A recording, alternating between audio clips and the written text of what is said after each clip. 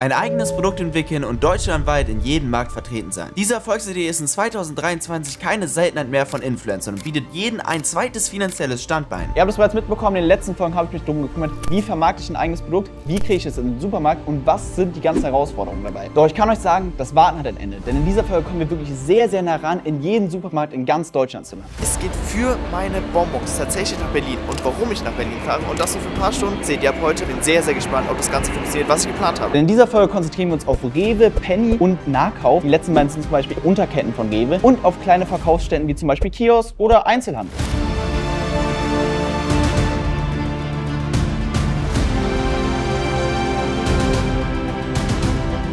Diese beiden Stammbeine sind ein unglaublich guter Anfang, doch ich möchte auch online Fuß fassen, um wirklich alle Leute in ganz Deutschland abzuholen. Doch warum ging es für mich nach Berlin? Natürlich muss ich, wenn ich ein neues Produkt habe, es an so viele Menschen wie möglich bringen. Und vor allem, wenn neue Marken ein neues Produkt haben, sind Influencer immer eine gute Wahl. Und ja, dazu zähle ich natürlich auch. Und weil ich sowieso in den Einzelhandel wollte, habe ich mir gedacht, warum nicht einfach in den Kiosk von Marvin und Aaron Troschke? Doch bevor ich meine Sachen da verkaufen kann, musste ich erstmal Marvin mit einem Paket überzeugen. Hallo lieber Kilian, vielen Dank für deine Bonbons. Sie kamen jetzt doch verspätet noch an. Zapland Candies Himbeere. Erstmal finde ich die Farbe sehr, sehr nice. Ich weiß nicht, ob die Größe so die richtige ist. Ich, wenn ich mir Bonbons kaufe, dann würde ich natürlich gerne ein paar mehr haben. Aber vielleicht ist so auch die Scheu an der Theke gar nicht so hoch. Einfach mal zu probieren. 2 Euro würde ich dafür schon ausgeben, für 30 Gramm. Aber am Ende muss natürlich der Geschmack überzeugen. Jetzt bin ich mal sehr gespannt. Probieren wir mal. Sie schmecken überhaupt nicht grün. Probier mal.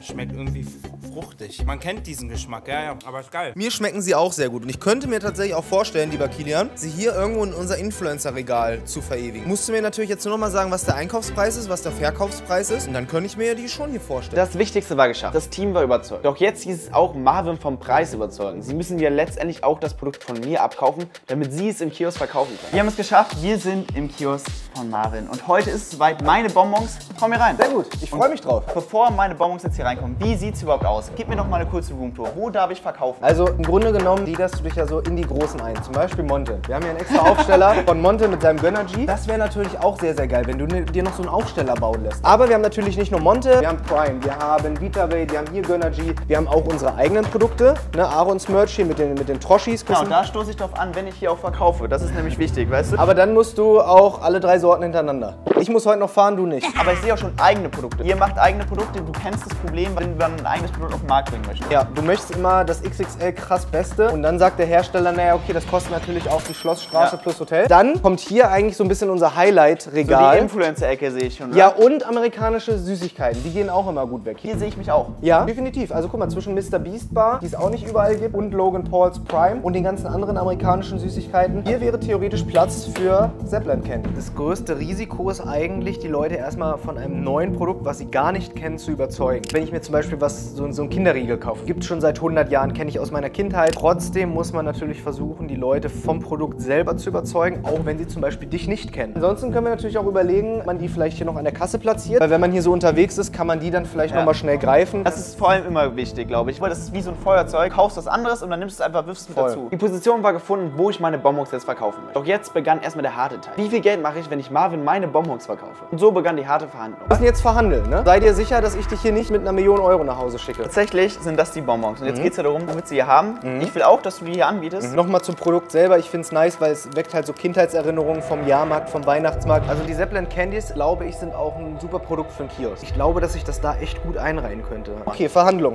Wie viel kosten die EK? Einkaufspreis für alle Leute, die es nicht wissen, kosten die mir 85 Cent. Pro Stück. Mit Verpackung, mit, Mit Inhalt. allem. Boah, ja, mein erstes Bauchgefühl sagt eigentlich, ich würde dir EK 1 Euro geben, damit ich sie dann hier für 1,50 oder 2 Euro verkaufen kann. Damit wir natürlich auch so ein bisschen Marge haben. Wir tragen jetzt so ein bisschen auch das Risiko dafür, dass wir es loswerden. Aber weil du ein junges Startup bist, weil du das alles selber machst mit so viel Herzblut, würde ich sie dir für 2 Euro das Stück abkaufen. Und wir würden sie versuchen für 2 Euro zu verkaufen. Wir gucken mal, wie es anläuft. 2 Euro pro Stück, 50 Stück sind's. Deal? Deal. Viel Spaß beim Einräumen, ich kümmere mich um die Etiketten. Und was hier Marvin wirklich für einen Deal rausgeschlagen hat, wird ihn später noch zum Verhängnis. EK, er kauft sie für 85 Cent ein. Ich habe sie für 2 Euro das Stück abgekauft. Und wir verkaufen sie auch für 2 Euro. Warum? Weil ich Das wird aber noch geklärt. Jetzt hieß es erstmal meine Produkte in die Regale einräumen. Also ich sag wirklich, das ist das beste Gefühl daran. Wirklich, dass ich vor einem Monat dann noch in der Produktion saß. Ich habe die selber den Zucker umgerührt und jetzt stehen die hier drin und ich sag, Marvin, kauf mir die Bonbons ab. Das ist ja wirklich auch noch das, das, ist das Beste daran. Gleichzeitig wurden meine Bonbons direkt an die Kasse gestellt, um zu gucken, wie wie gut funktioniert das? Komm, wir probieren es mal. Wenn Aaron kommt und durchdreht, dann kann es sein, dass das wieder verschwindet. Aber solange ich hier Regentschaft habe, versuche ich die mal hier so hinzustellen. Müssen Ja. mal gucken, wie es im Tagesgeschäft überlebt. Also ich glaube, der beste Platz ist tatsächlich auf unserem amerikanischen Schrägstrich Creator Süßigkeiten Portfolio. Da ist Logan Paul äh, mit Prime und Mr. Beast mit seinen Mr. Beast Candies. Da können wir gerne deine Bonbons dazwischen packen. Und weil das Ganze mir nicht reicht und alle Produkte auch im Online-Shop erhältlich sind, hieß es jetzt auch, meine Bonbons in deren Online-Shop packen. Guck mal, was ich gemacht habe. Wir haben unsere Creator-Produkte, wo halt nur von Influencern und Creatoren Produkte drin sind und du bist ganz, ganz vorne. noch vor Prime, noch vor Mr. Beast, sogar vor Aaron selbst, vor den Troschen. Hä, wie krass. Vor allem für einen super Preis. 1,99 Euro, super, besteste Candy-Dinger aller Zeiten bekannt aus Funk und Fernsehen, so wie du es wolltest. Finde ich super. Mein Job war getan. Doch was sagt überhaupt Aaron zu meinen Bonbons? Denn wenn sie Aaron schmecken, heißt es eigentlich für mich, mein Produkt kann nur funktionieren. Ganz ehrlich, wenn Aaron sagt, ihm schmeckt, das ist das Mehrwert, als wenn ich das sage. Weil Aaron äh, im Gegensatz zu mir kein Blatt vor den Mund nimmt. Wenn er scheiße fände, hätte er es dir direkt gesagt. Auch vor der Kamera. Also es sieht nett aus. Es ist eben von der Masse so, dass ich denke, ein bisschen wenig. Verpackung ist schön. Ich glaube, alles Wichtige steht hinten drauf. Jetzt bin ich mal gespannt. sagst, ja genau. Oh, an diese So, Aaron ist überhaupt nicht geduldig. Also, ich weiß nicht, wann ich ihn das letzte Mal wirklich so Essen genießen sehen habe. Ja, nee, ich habe aber einen kaputt gebissen, aber ich bin nicht so ein Bonbon-Fan, weil ich den mal kaufe, weil ich keine Geduld habe. Ja. Ja, das schmeckt Himbeere, aber ich habe da kein Kindheitsgefühl. Diese Dinger schmecken genau wie Als du ein Kind warst, war ich auch 30 schon gefühlt. Schmecken doch voll Weihnachtsmarkt, Mann. Jetzt ist das Problem, was ich jetzt habe, Ja. ich nehme die im Auto mit, ja? Ja. Dann mache ich die auf, dann reißt mir die Tüte rein, dann greife ich beim Fahren nochmal rein und irgendwann ist die Tüte kaputt, aber ich habe noch ganz viele, dann fliegen die in der Mittelkonsole rum. Okay, das ist ein Kritikpunkt, den kann ich sogar verstehen. Aber ist schön. Ich finde geil, dass du es alleine machst und dir da so eine Mühe gibst. Schon dafür bieten wir sie jetzt im Kiosk an. Ganz ehrlich, wenn Aaron sagt, ihm schmeckt, das ist das Mehrwert, als wenn ich das sage. Ich glaube, mit allem, was süß ist, kannst du ihn überzeugen. Die Inhaber habe ich überzeugt, aber das Produkt funktioniert logischerweise ja nur, wenn es auch Leute kaufen. Darum habe ich mich gefragt, wie viele muss ich verkaufen in einer bestimmten Zeit, dass sie nochmal nachbestellen. Jetzt ist natürlich die nächste Frage, nach wie vielen Tagen muss das ausverkauft sein, dass du sagst, okay, das war ein Erfolg. Boah, gute Frage. Ich glaube, das dauert tatsächlich ein bisschen. Dementsprechend nach Video-Release wirklich Leute, die hierher kommen oder das bei uns im Online-Shop bestellen. Ich glaube, wir brauchen so schon einen Monat. Du sagst, einen Monat bis 50 Dinger weg sind. Wären am Tag mehr als eine. Wenn wir es vor 2024 schaffen, Sold-Out zu gehen, sagst du, bestellst nochmal nach. Machen wir. Also wenn sich die Süßigkeiten gar nicht verkaufen, dann bin ich, glaube ich, einfach Fan genug, die alle selber wieder aufzukaufen.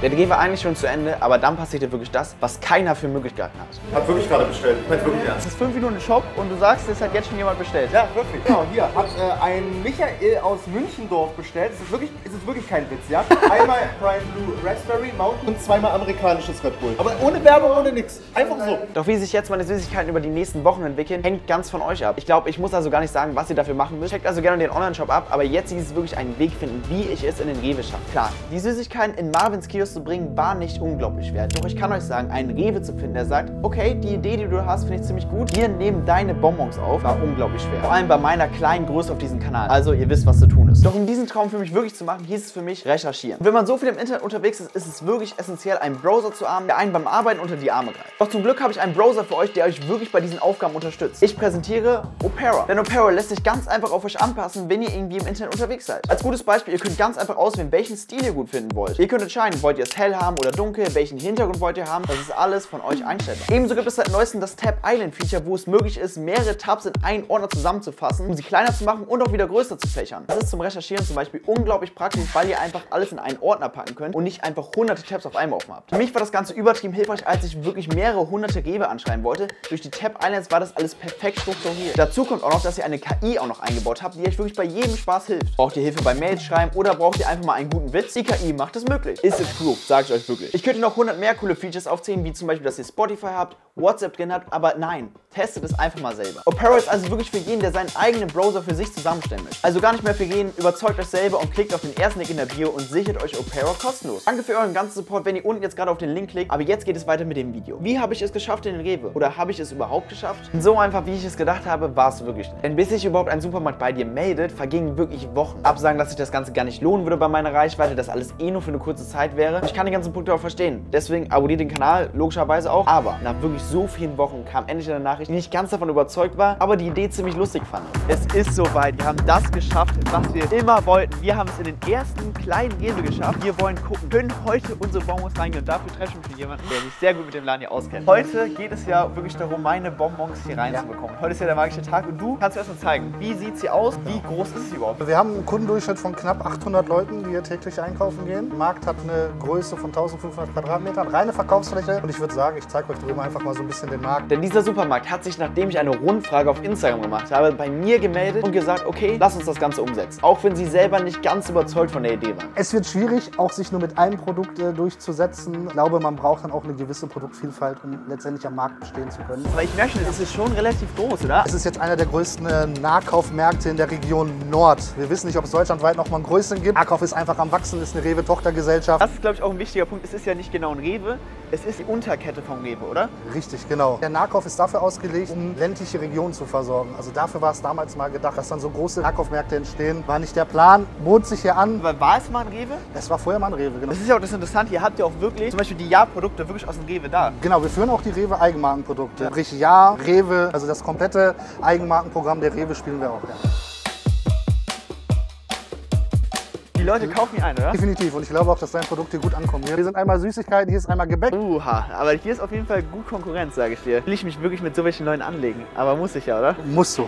Um auf dem Markt zu bestehen, musst du dich mit den Großen messen. Also die Konkurrenz bei Süßigkeiten ist schon relativ hoch. Du hast halt mit Haribo, mit der Firma Hitchler und diversen anderen sehr große Konkurrenten. Wichtig ist halt einfach auch auf Augenhöhe. Das Regal ist in verschiedene Zonen aufgeteilt. Wir haben einmal die Bückzone, wir haben die Griffzone, oben ist und einmal die Zone, die auf Augenhöhe ist. Und da macht es Dein Programm auf Augenhöhe zu packen, weil da auch immer die hochwertigen, teuren Produkte Voll. in der Regel stehen sollen. Doch weil es nicht ganz einfach ist, sich bei der ganzen Konkurrenz durchzusetzen, hatten wir eine Idee, wie wir uns von den ganzen Produkten abheben können. Wir haben hier so einen kleinen Korb, kannst du selber entscheiden, ob du das so möchtest. Bei dir hier schön reinfüllen und dann können wir das direkt hier unternehmen unser äh, Donutmöbel stellen. Da hast du noch ein paar Kaugummis, aber Ja. ich glaube, dagegen kannst du dich dann ohne Probleme durchsetzen. Sehr gut, ich würde sagen, wir nehmen das. Und ich würde auch sagen, es geht jetzt erstmal darum, Bonbons an den Mann zu bekommen, weißt du? Du musst jetzt meine Bonbons erstmal abkaufen und darum geht's gerne in die Verhandlung jetzt. Das mit dem Verhandeln ist nicht normal. Normalerweise läuft es so, dass der Hersteller sich über die Rewe Group meldet und dann dort mit den zuständigen Leuten die Preise verhandelt oder sagt. Wie geht man da jetzt vor? Ich sag einen Preis und du sagst, ob du mit dabei bist oder nicht, oder? Würde ich mal so machen. Ich bezahle 90 Cent Einkaufspreis und mein erster Impuls wäre jetzt, ja, direkt 1,50. Da sehe ich schon an deinem Blick, das sieht sehr schlecht aus. Richtig. Weil wir, denke ich, die Bonbons für 1,99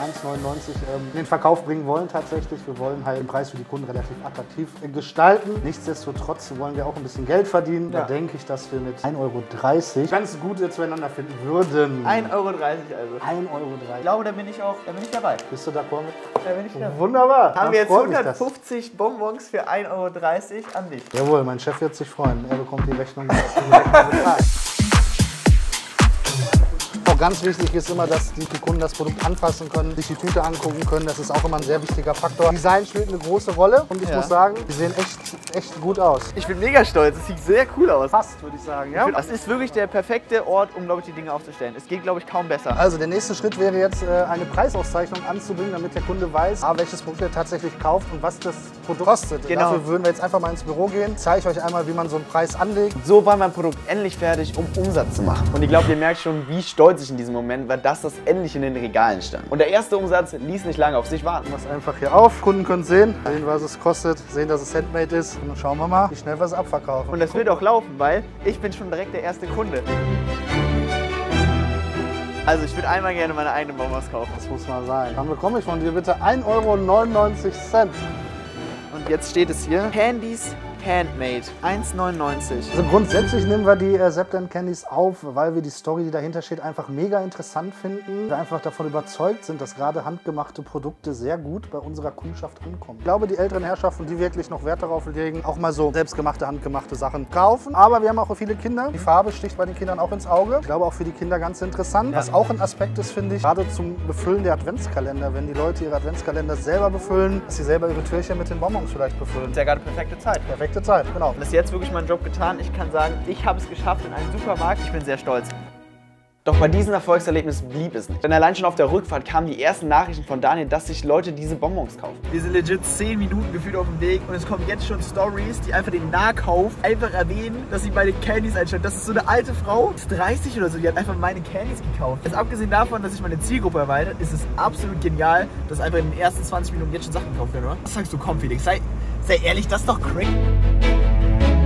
Es war fast alles geschafft, um das Produkt wirklich bereit aufzustellen. Doch der Online-Shop war bis jetzt immer das Hauptproblem. Die Website, wie sie gerade ist, ist komplett trash. Also ihr wisst ja, für den letzten Release hat das funktioniert und wir sind auch sehr, sehr schnell sold out gegangen. Aber wenn ihr euch gerade die Website anguckt, das Logo ist oben unscharf, hier sind viel zu viele Informationen drin. Ich glaube, das liest sich keiner durch. Wir müssen den Shop fixen, dass er wirklich gut ist. Denn wenn das ganze Video hier gerade online kommt, könnt ihr genauso den Shop nochmal abchecken und neue Sachen kaufen. Deswegen heißt es jetzt, den ganzen Shop neu überarbeiten für euch und dafür, dass meine Bonbons auch weggehen. Was wirklich hier wieder in diesem Video passiert ist, goldlos. Manche würden dafür drei Videos machen, ich mache das in einem. Aber jetzt heißt es, den ganzen Shop fixen. Doch währenddessen ich den Shop fixe, wie sieht es aus mit mehreren Rewe-Filialen und wie viel Umsatz habe ich mittlerweile mit meinem eigenen Produkt schon gemacht? Und noch eine andere Frage, die sich wahrscheinlich viele stellen, ist es überhaupt möglich, mit so einer kleinen Reichweite in irgendeinen Rewe zu landen? Und ich kann euch sagen, ja, es ist wirklich sehr, sehr schwer als ein YouTuber, der 50.000 Abonnenten. Der einzige Weg, um das möglich zu machen, ist wirklich viel Umsatz machen oder wirklich einzelne Filialen anschreiben, die das Ganze ermöglichen. Aber ihr kennt mich, ihr wisst sicherlich, ich stecke hier mein Leben in diese ganzen YouTube-Videos und ich kann euch sagen, ich habe mich schon mit wirklich sehr, sehr vielen Filialen auseinandergesetzt und es sieht wirklich gar nicht so schlecht aus. Wir sind nur halt einfach an der falschen Zeit, am falschen Ort. Jede Rewe-Filiale, die mir nicht abgesagt hat, hat mir gesagt, okay, wir könnten das eigentlich machen, muss nur auf Januar und Februar warten, weil dort ist die Zeit, wo wir uns neu wieder aufstellen und der ganze Weihnachtsstress vorbei ist. Mir wurde aber gesagt, nutze die Zeit wirklich gut und versuch so viel Umsatz wie möglich zu machen in dieser Zeit. Und ich kann euch sagen, diesen Plan müssen wir anstreben. Also falls ihr Bock habt zu supporten, checkt einfach gerne den Shop ab. Aber jetzt kommen wir zum spannendsten Teil. Wie viel Geld habe ich mittlerweile schon damit gemacht? Das Vorwort, ich möchte euch gerne teilhaben, wie viel Umsatz ich damit gemacht habe, weil ich das Ganze ja von Anfang an mitgenommen habe, wie man ein eigenes Produkt entwickelt, wie man das dann produziert und wie man es auch weiter vermarktet. Und darum sage ich euch gerne, wie viel ich damit verdient habe. Weil ich aber so offen bin, abonniert doch einfach mal den Kanal. Danke, denn ich sitze seit Monaten an diesen 50.000 Abonnenten und hätte gerne mehr. Genug Sellout. In dieser Folge habe ich angefangen, Marvin 50 Bonbon-Packungen für 2 Euro zu verkaufen. Er hat also letztendlich 100 Euro dafür bezahlt, 100 Euro auf unser Konto. Dazu haben wir in dieser Folge 150 Packungen an den Rewe Nahkauf verkauft und da kommen wir auf einen Wert von 200 Euro. Wenn wir jetzt aber noch an die vergangenen Folgen rangehen, in der letzten Folge hatten wir 50 Bonbons in unserem Online-Shop und gleichzeitig noch 160 Euro auf der Gamescom verkauft. Insgesamt sind wir also gerade auf einen Umsatz von 610 Euro. Hä, Digga, das ist eigentlich gar nicht so kacke, merke ich gerade. Ich kann wirklich sagen, ich bin sehr, sehr zufrieden, was wir mit einem eigenen Produkt gerade umgesetzt haben. Da, das ist nur der Umsatz und nicht letztendlich der Gewinn und mit den ganzen Steuern, die man noch dazu rechnen müsste, will ich gar nicht anfangen. Das ist viel zu komplex für das ganze Video. Ich kann euch aber sagen, der Online-Shop ist wieder online. Checkt ihn gerne ab. Er ist überarbeitet, nochmal schöner für euch gemacht. Es sind jetzt auch wieder ein paar Bonbons da. Also abonniert den Kanal, checkt den Online-Shop von Marvin und Aaron ab, checkt meinen Online-Shop aus, checkt Opera aus, abonniert den Kanal und ich möchte gar nicht so viel sagen, hier sind ganz viele andere Videos.